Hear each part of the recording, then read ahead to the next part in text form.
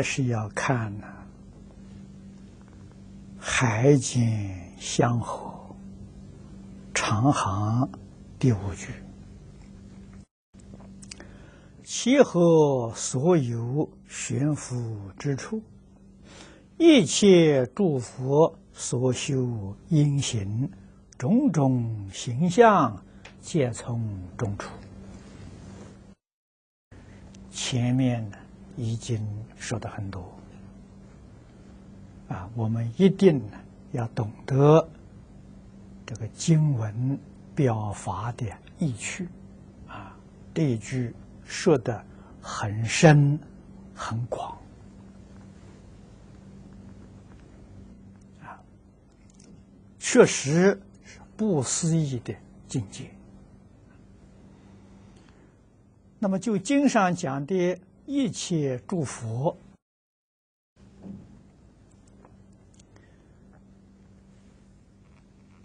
这一句里面就含着很多意思。啊，第一个呢，可以说为设方过去、现在，啊，未来我们不谈啊。一切诸佛如来，这是一个说法。第二种讲法呢，就像姜维农居士在《金刚经》上所说的祝福啊，那个祝福呢是讲的四十一位化身大师。这些人最低的原教初住菩萨，破一品无名，正一分法身啊，与诸佛是同生心呐，啊，同样呢用的是真心呐，也就是我们平常讲的，他们真正是用。真诚、清净、平等、正觉、慈悲，啊，确确实实，他用的是这个心，啊，不夹杂一丝毫的这个妄心，啊，妄心是相反的，是妄心，啊，真诚相反是虚伪，虚伪是妄心，啊，清净。反面是染污，啊，染污是妄心，平等的反面是贡高我慢，啊，正确的反面是不觉，慈悲的反面是自私，这反面完全没有了，啊，原教初住菩萨用这个心呐，如果我们也用这个心。我们这个反面的完全断干净了，你就是初住菩萨了，啊，你就是法身大师，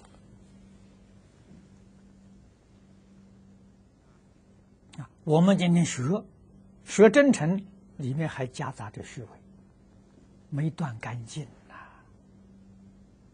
啊，我们的功夫要在这里做。啊分分断，它不是一下就断干净，啊，没这个道理。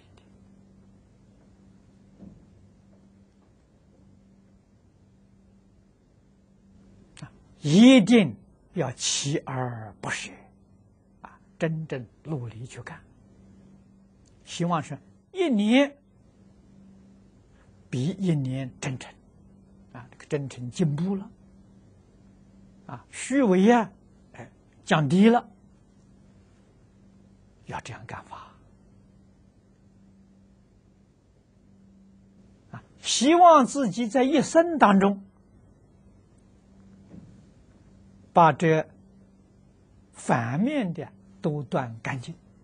换句话说，我这一生当中啊，我纵然不能证得究竟圆满的佛果，也能证得分正位呀。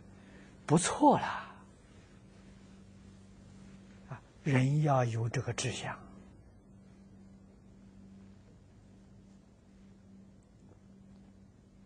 啊，这个真正叫办大事啊！啊，世间的荣华富贵、功名利禄，假的，那是一场空啊！不能在那里追逐啊！要彻底放下，啊，我们干真的，啊，我们走的是佛道，走的是菩提大道，所以那个一切诸佛呢，就是从圆教初住往上，啊，这个四十一位法身菩萨，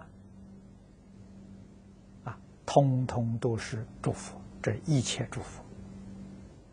这是一个讲法，还有一个讲法呢，那就是天台大师讲的六界佛。那六界佛范围包括大了，把我们凡夫都包括了。我们凡夫是什么佛呢？名字即佛，叫有名无实。啊，只要是受了。三规了，啊，三规五戒了，不管你有没有规，有没有戒，啊，就是这个挂个名，为什么名字即佛嘛？啊，你皈依了，三皈确实没做到；你受了五戒了，五戒一条也没做到。啊，挂名的名字即佛，啊，认真去做了。啊！我天天真的想在修，这个、这个、这个，提起自己的警觉，我要觉而不迷，我要正而不邪，我要静而不染。啊，你已经有这个念头，啊，时时刻刻你能提得起这个念头，啊，你能提得起这个十善无戒。啊起心动念都会想一下，哎，我跟十善相不相应？我这个念头该不该起？是善还是恶？自己有能力去去鉴别。啊，我这个话啊是善还是恶？我这个行为是善还是恶？能够真的反省，真的检点，真的天天在改过自新，这个叫观行即佛。那那就不是名字了，他真干了。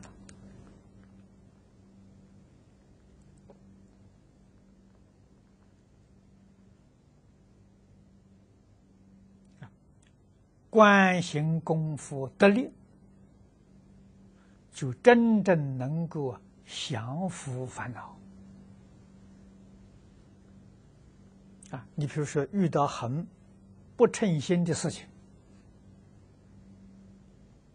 啊，人常常容易发脾气，啊，忽然就是在这个时候提醒着，哎，我不应该发脾气，我何必要认真呢？啊，凡所有相，皆是虚妄。哎，把这个嗔恚念头啊，马上就压下去了。这观心啊，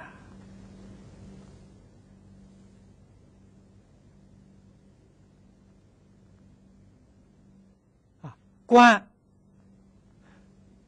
就是大乘佛法里面讲的观照啊。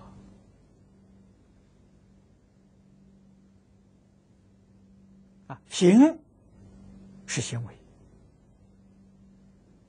啊，你能够啊时时刻刻关照自己的行为是正的还是邪的啊？你时时刻刻提得起关照功夫，这叫观行为佛啊，观行是佛。六道凡夫都在这个境界。如果再提升呢？再提升，就相似即佛了。啊，观行提升呢，就相似了。相似就是哎，像样了，像佛的样子了。啊，那是什么呢？你超越六道轮回。啊，你是阿罗汉、辟支佛、菩萨，四圣法界里头，没出六道，四圣法界里面相四位，相似即佛。啊，我们如果做到相似位呢，那就超越六道轮回了。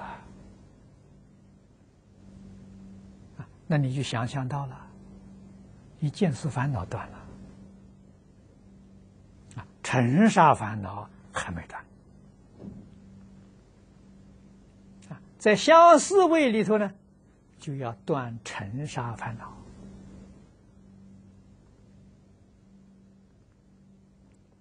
尘沙烦恼断尽了，那你又提升了，分正即佛，那就是原教初住以上了。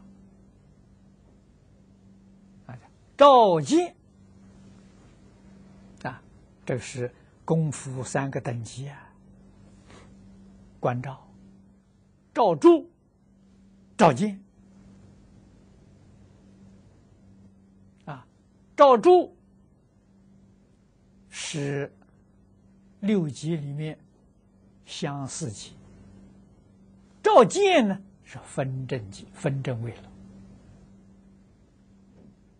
啊，在观照，啊没有到照住，这六道里面的观行位呀，一切诸佛有这三个意思在呀。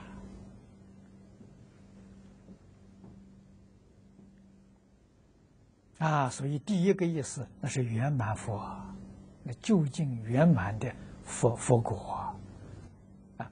第二个意思是分正，分正位啊，化身菩萨。那第三种讲法的时候，把名字位都包括进去，然后你再晓得这个就是。所修因行种种形象，啊，可以说从凡夫出发心，一直到如来究竟果地修行的形象啊，通通都在这里头看出来了。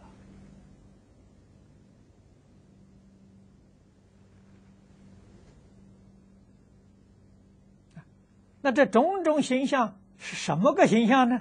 跟诸位说。大方广佛华严经上所说的一切，就是这里讲的种种形象四个字。一切诸佛所修因行种种形象，总共十二个字，全部华严。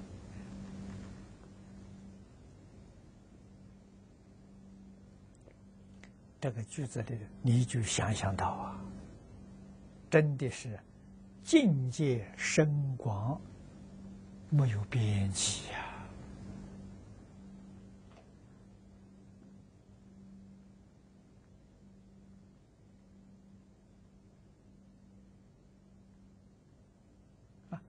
从这个地方使我们联想到，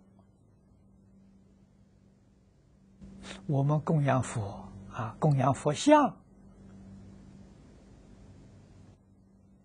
供品当中，啊，最重要的一杯水呀，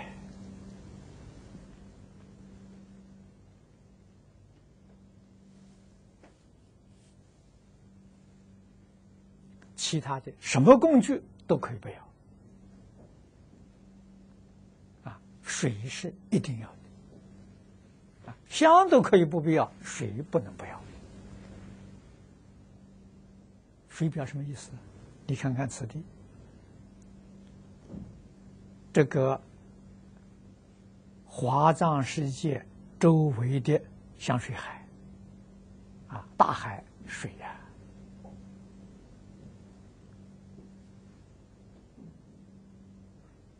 莲花地面上这个香海水呀，从香跟香海通的这些河，我们现在念到的海间香河水呀。用水表藏石，用水表藏石里头含藏的种子，又用水这个河水表这个与哎这个湿啊与湿心相应的心所啊，你看看这一杯水里头的表法意思多深多广。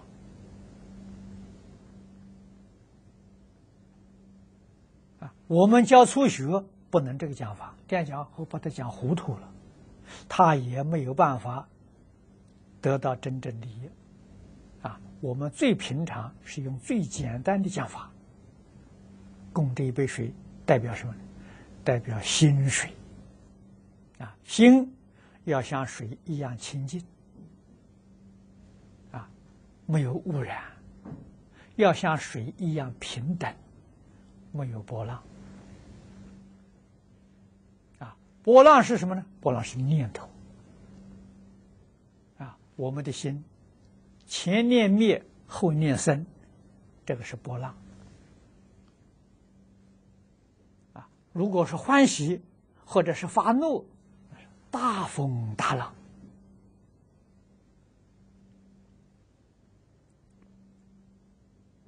啊。真正平呢，波浪不生呢，这就是定。我们讲的禅定。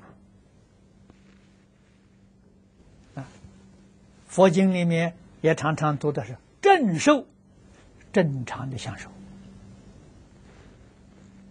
你的心水不动啊。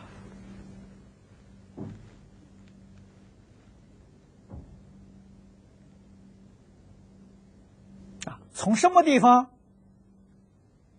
去观察呢？从六根接触六尘境界，啊，六根接触六尘境界，起心动念就是像水河，河流在在在流动啊。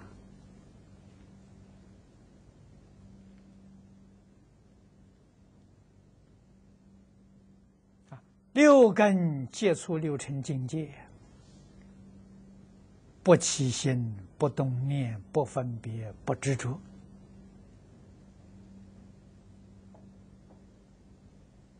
那就是正受，那就是禅定。禅定不是盘腿面壁呀，啊，盘腿面壁那是初学，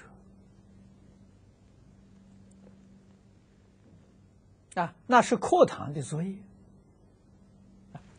真正要用在生活上。禅定要落实用在生活上，才开智慧。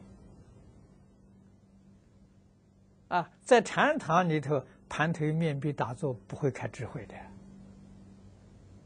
啊，要在六根接触六尘境界的地方啊，真正在那里练呐，练不起心、不动念、不分别、不执着。啊。境界清清楚楚、明明了了是慧，啊，心地里头如如不动是定，啊，真正修功夫，啊，修定慧。是这样子完整的，啊，所以我们到后面，啊，这还现在没讲到。你看善财童子五十三参，啊，他参访的善知识，啊，修禅定的，不是在禅堂，在什么地方呢？在市禅，古时候这个市场，就是现在的商场、百货公司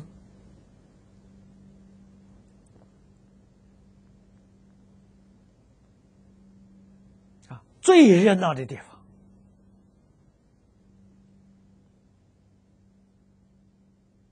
啊，外国人称之为“墓”。啊，修禅定的人，他在那里头去逛啊。善财童子到那里去参访他，他呢在那里修禅定，啊，定慧等学，我们凡夫怎么会晓得？啊，他六根所接触的，琳琅满目。啊，他在里面也有说有笑，也不是呆呆板板的，像木头人的，不是的，啊，这是活人呐，活活泼泼啊，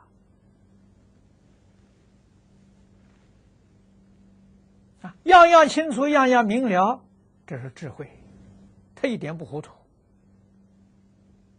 啊，这个心里都是对于所有一切的这些啊万物。一点贪心没有，一点厌恶的心没有，他心是平的，啊，这是修定。他心是清净的，没有被六尘境界污染，啊，真正的禅定啊，啊，定中有慧，慧中有定啊，啊，定慧一体啊。定慧等学，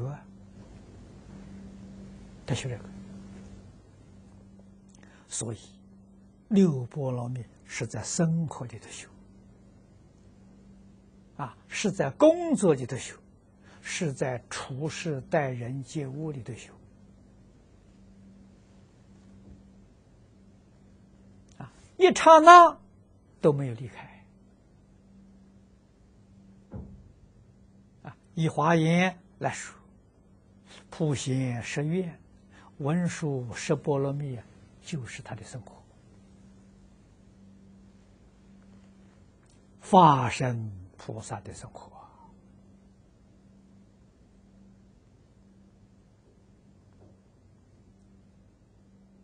啊，我们能不能从供佛的一杯水里面体会到这个意思呢？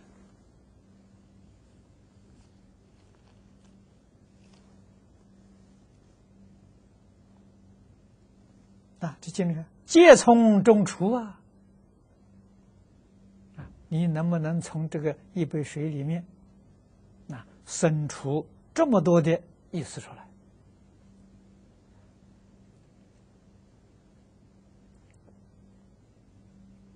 来？啊，这一句我们就说到此地，啊，再看底下一句：“摩尼为王。”众宝林多，啊，这八个字就是一句。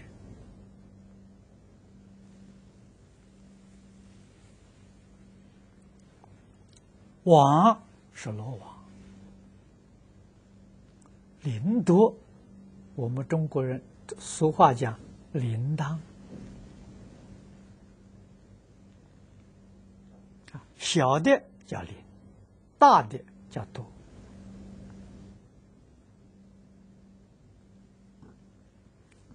这个多就是小型的钟，比铃大，比钟小。啊，最常见的，这是现在好像也不常见了。啊，我们从前在学校念书，啊，上下课打铃，那个铃是多，啊，是个大的，大的铃。啊，有工友到时间，他就一摇铃，哦，上课了，下课了，那么也有学校的说，这是个小的钟，那是属于多，啊，它挂在固定的地方，啊，到时间的时候，啊，它有绳子，啊，绳子，呃，这个这个这个，呃，拴在那个钟的锤上，它那个锤是在钟的当中，你摆动它就响了，啊，那么这样的钟是往往我们还在一般教堂里面还能看到。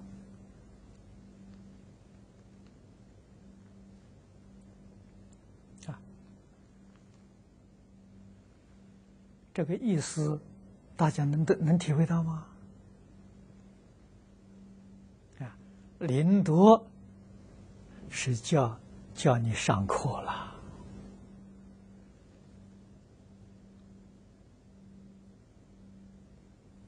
啊，王罗王，罗王表的意思很广啊。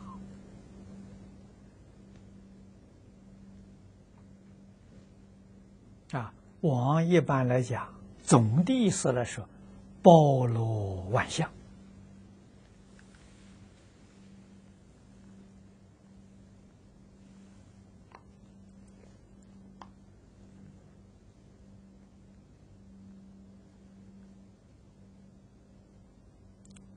经典上讲罗网，多半都是取。地是天，天宫里面的罗网装饰品呐，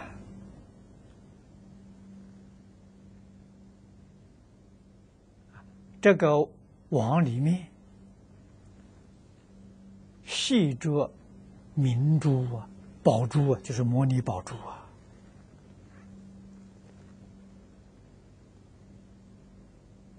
珠就像一面镜子一样，啊，外面的这个景象都照在里头，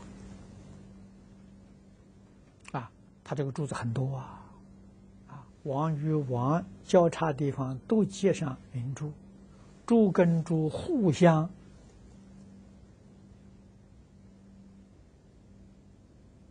照应。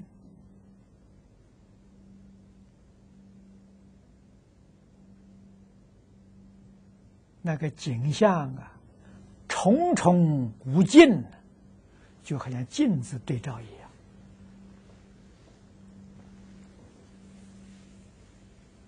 样。啊，我们知道镜子是平面的，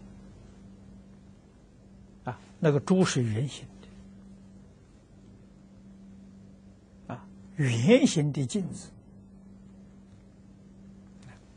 照起的外面的色相。它产生变化了啊！从变化里面，我们体会到，凡所有相，皆是虚妄。啊，那个相会变，啊，这说明是你用什么眼光去看，哎，那个相就变成什么样子。相随心转，啊，随着我心转。我看那个人是好人，嘿，越看越好。我看那个人是恶人，越看越恶。啊，他是不是真的好，真的恶呢？不见得。啊，好跟恶，说老实话，没有标准呐。真的没有标准啊。佛菩萨有没有标准？佛菩萨也没有标准。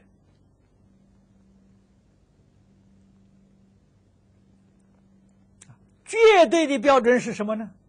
善恶两边都离开了，这是绝对标准。啊，这个跟你说真的。啊，宇宙之间一切人事物，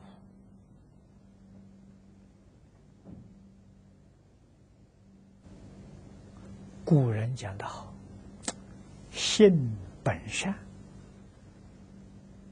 啊，那个性本善，善的时候善恶都没有。那叫善。啊，有善有恶，就不善了。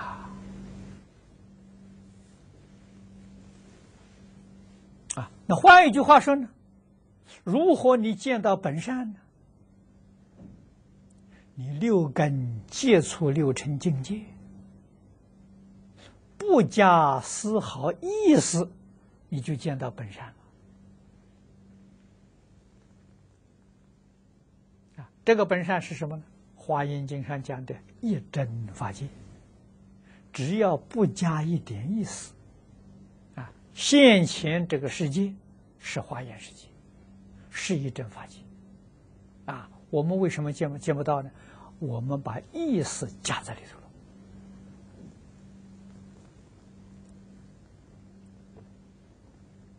了啊！平常我们有个术语啊，常常讲注意啊，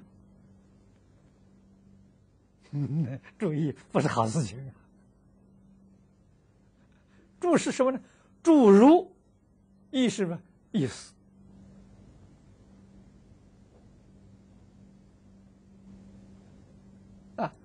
注意是六道凡夫啊！啊，觉悟的人啊，才不会把意思住在这个里头。啊，六根接触六尘境界，要把意思住在里面，坏了，马上就变相变直了。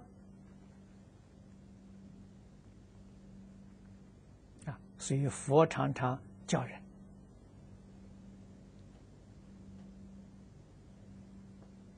第一念，第一念什么呢？没有意识，啊，没有加丝毫意思的。第二念呢，哼，意思就跑出来了，啊，实了。第二念呢，这个见性就变成了眼识啊。那个耳根呢，闻性就变成了耳识，第二念就变了。第一念跟第二念呢，几乎是同时的。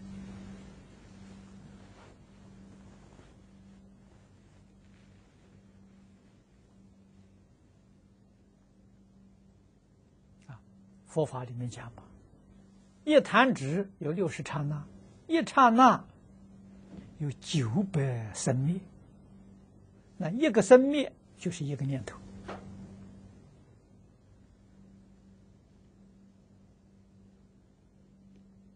所以能保持第一念，就是发生大事了。保持不了第二念，九界众生啊，注意要听清楚，九界包括声闻缘觉全教菩萨，保不住啊！第二念就迷了，第二念是是十是八十五十一心所起作用啊。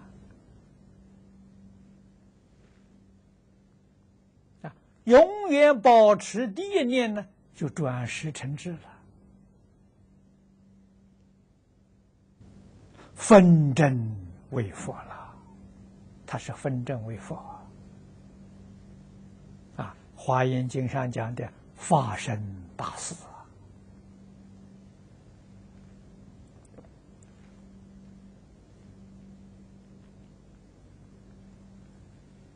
啊，随着往。含这个含的意义很广很深啊，表法的意趣，我们总的要能够啊体会到几分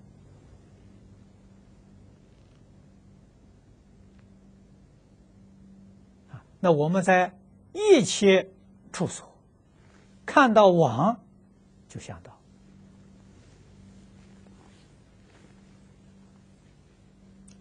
王在教我们呐，所以说一切人、一切事、一切物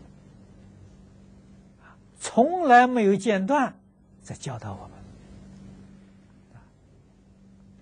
关键还是在会吗？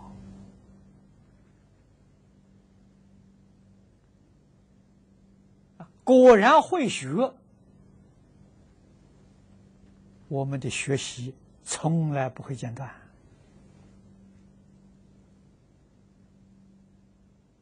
真的问题在会不会？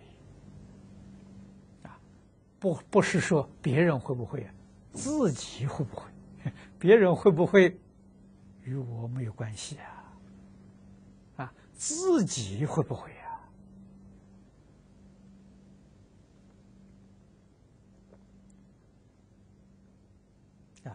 莫逆失望啊！众宝林多啊，林多刚才讲了啊，林多是教学，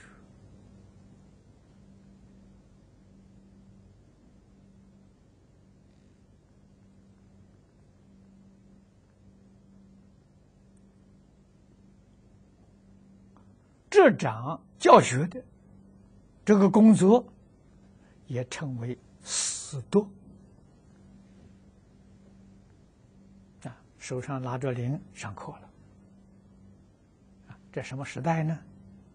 古时候的私塾啊！私塾学生少的六七个学生，多的一二十个学生。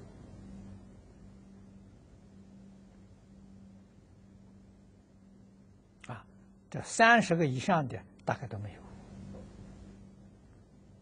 啊，顶多了二十几个，啊，这是古时候的私塾啊，啊，老师一个人，没有工友啊，上课摇铃是老师自己摇铃啊，啊，下课的时候学生可以轻松一下休息啊。离开教室，啊，上课时间到了，老师要领，学生赶快回到自己座座位。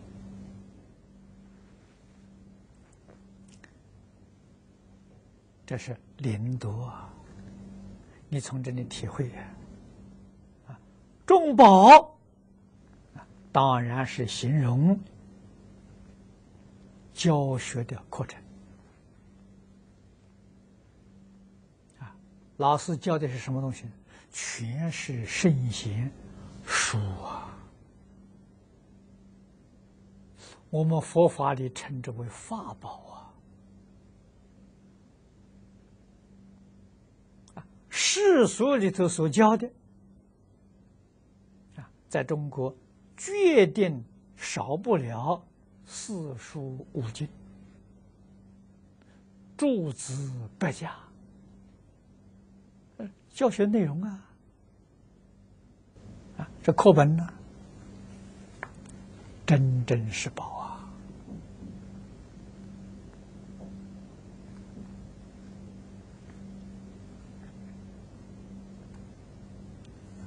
古时候，小学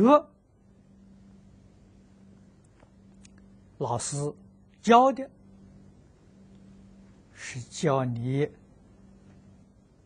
生活起居、处事待人接物的规矩，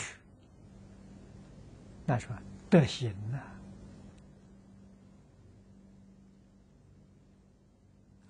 教你说话，说话要有分寸，要有礼貌，言语啊。教规矩，老师做榜样啊！学了之后，你回去，你知道对父母啊，对这个兄弟姐妹是一些什么样的态度？生活教育啊，古人也把这些东西写出来、记录下来了。这个大家熟知的《弟子规》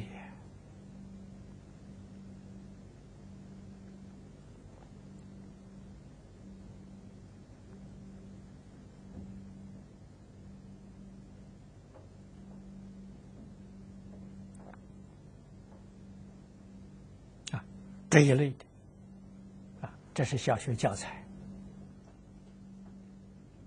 啊，需要读的呢，一定是四书五经。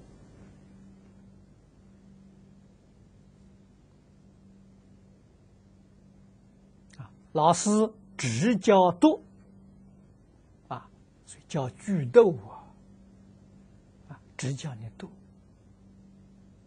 没有讲解的，为什么呢？年岁太小了，智慧没开。这个时候，他的长处就是记忆。小孩的记忆力好啊，没有妄想啊，没有杂念，利用啊，他这个长处啊。他的特质啊，充分的利用它，大概总是到十二岁，啊，记忆力最好的时候，啊，在这个阶段里头，所有重要的典籍，教他读，教他背，啊，所以私塾教学，老师是不讲解的。啊只讲规矩，处事待人些规矩、礼节，这个要讲，啊，书不讲的，叫你背，读出，啊，看着你背，啊，这个天分好的，督促他背一百遍。啊，一百遍背完了，可以下课啊！所以下课不是同时下课的，有早有迟。下课不要打铃的啊！你一百遍，你先背完了，你先下课。那个还没有背完的，继续再背。天分差一点。我们一般讲呢，迟钝啊笨一点的人，要背两百遍，加倍呀，啊，为什么呢？他才不会忘记。所以只有上课的时候打铃，下课不打铃的。哎，每一个学生下课有先后不同的，跟现在学校不一样。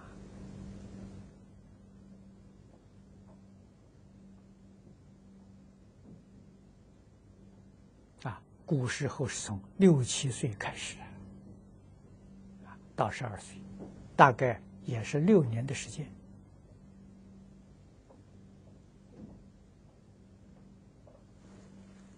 能力很强的，啊，记忆力非常好的，啊，四书五经背过之后，可以选背诸子百家。百家是文集，啊，我们现在这个这个呃，中国古时候编的丛书啊，《四库全书》《经史子集》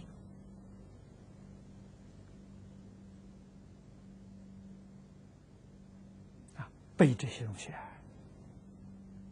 啊，由老师来选择啊，来挑选。教给学生背诵，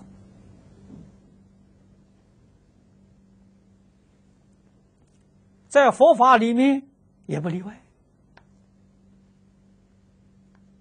啊。但是佛法出家不是从小啊，不是从六七岁，佛法出家了，大概都是十五岁以上。到二十几岁，那么由此可知，他的小学教育完成了，啊，甚至于，啊，古时候，这个十三四岁就入太学了，啊，秀才了，啊，我们也称为童僧，童僧就是秀才，入太学。读书，那有讲解，有研究讨论啊，你小学所背诵的东西，现在要开始研究讨论讲解，所以它是分为两个阶段。小时候记忆力好，让你背啊，十三四岁智慧慢慢开了，能够懂得了，来研究讨论。啊所以在古代，啊，确确实实有考取举举人、考取进士，二十岁，二十岁弱冠了，还有十九岁考取的，那还叫童子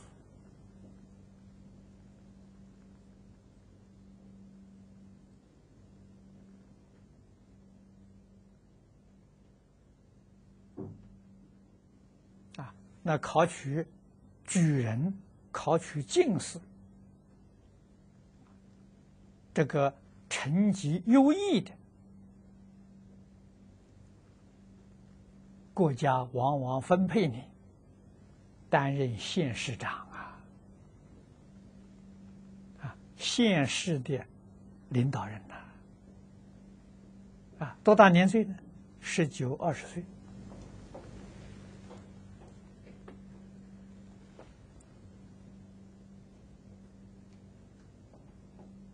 教成的啊，叫出师啊，就出去做官，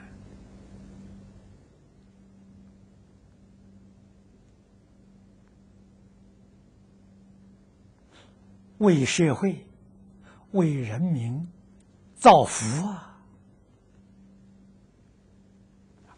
他自己来说呢，修福啊，人生享福是在万里。退休之后啊，享福，这个跟外国人的思想不一样，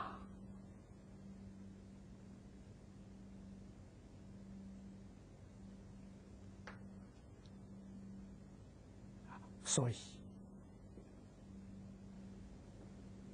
少年的时候苦学，点点。富慧的根基，壮年的时候为社会、为国家服务、为人民造福，自己在修复。到晚年退休了，啊，现在人家退休，古时候叫致仕。啊，就是退休，退休之后啊，享福啊。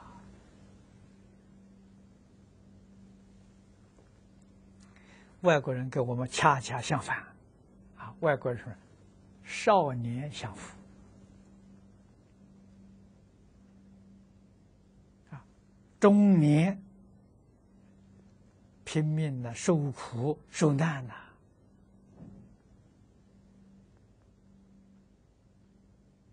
啊，谋自己生活。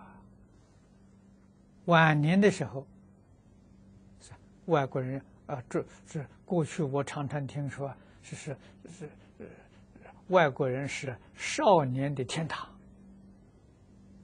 啊，中年人的战场，老年人的坟墓。他跟我们中国完全是相反的。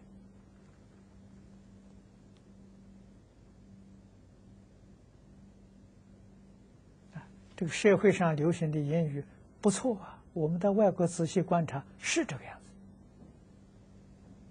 子。啊，年老的时候没有人理会，虽然住在养老院，养老院住的那么多人，彼此都不谈话，都不往来，啊，孤孤单单的一个人，吃饱了之后，啊，身体好的院子里面散散步，啊，身体稍微差一点的，坐在椅子上晒太阳，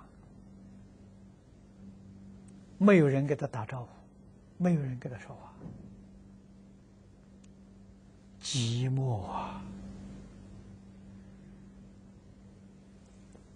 啊我们看到很难过，啊，我们想想，如果我们晚年是这个样，怎么办？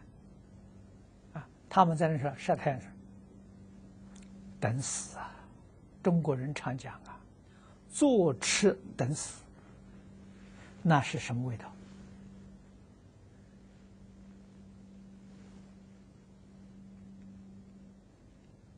啊，这个是一生。最后的一个阶段，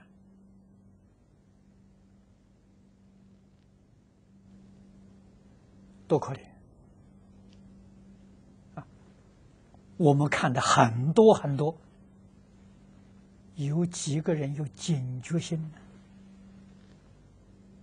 呢？释迦牟尼佛有啊，看到生老病死，他觉悟了。生老病死的现象都摆在我们面前呢，几个人能像释迦牟尼佛觉悟？啊，哪个人不老的？我自己要老啊！我老了以后，是不是也跟他一样的？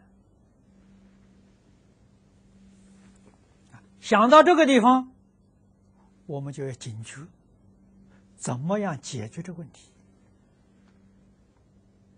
啊，释迦牟尼佛。是因此而发心修道的啊，舍弃世间地位、权力、荣华富贵啊，他去修道。为什么呢？只有修道才能解决这个问题。要不认真的来学习，这问题解决不了。果然没错，世尊确确实实把解决这个问题的效果展示给我们看了，教导我们呐。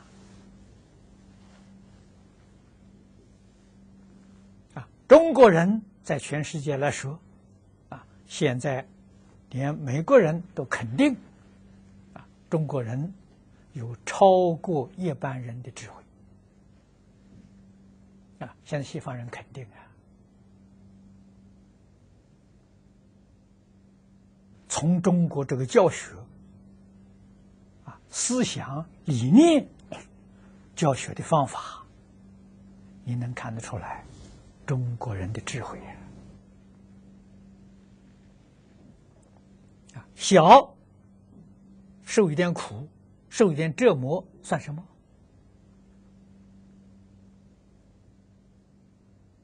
啊，小时候受了苦了，老的时候不受苦啊？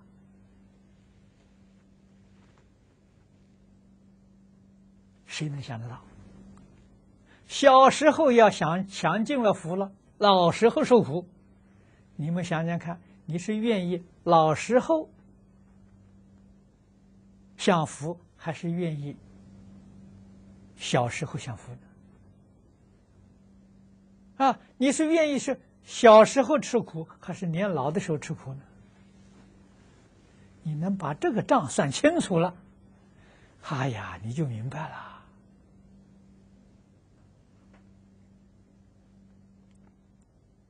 我年轻的时候，受苦受难了，同事朋友啊，在这个下班的时候啊，游乐场所去玩去了，看到我在这里读经，在这里学佛，都是我迷信。啊，没有学佛之前，我喜欢读书，都是我书呆子。啊，书呆子以后学佛了，迷在佛里头了。啊，不知道去玩。啊，他们是明着告诉跟我讲啊。我回答他是，我说我不是不想去玩呐，我玩不起呀。为什么呢？我如果现在玩了的时候，我老年要受罪呀。我现在年轻呢，可以能够忍受啊，啊，现在好好的努力学习。我玩的时候，我说我会玩，哎，不过我现在不能玩，我到年岁大的时候再去玩。嗯，他们笑笑，不懂啊，啊，到我啊五六十岁了。啊常常到国外去讲经去玩，他们明白了。啊，和尚讲的话不是假的，真的。啊，他们那个时候工作很辛苦啊，快到退休了。看到我今天到这个国家，明天到那个国家，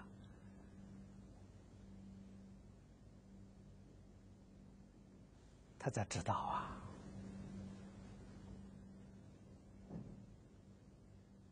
啊玩要有本钱呐，啊，没有本钱怎么玩法？啊，先要把本钱赚够啊，先要好好的学道德、学问、知识，啊，通通有了成就了。这个时候，像孔老夫子周游列国啊，啊，释迦牟尼佛弘法利生。也是周游列国，那是我们的好样子啊！